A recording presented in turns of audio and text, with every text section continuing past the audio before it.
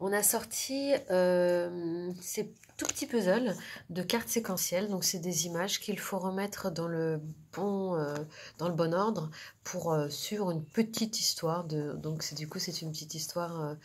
là, on a quatre couleurs. Et voilà, par exemple, regarde. Regarde, je te montre pour t'expliquer. Là, c'est le lapin avec le gâteau. Et là, le lapin, il va manger le gâteau. D'accord? Alors d'abord, on a le lapin qui regarde le gâteau et il est content. Et ensuite, et après, il va le manger. Donc, on va accrocher cette carte à celle-là. D'accord?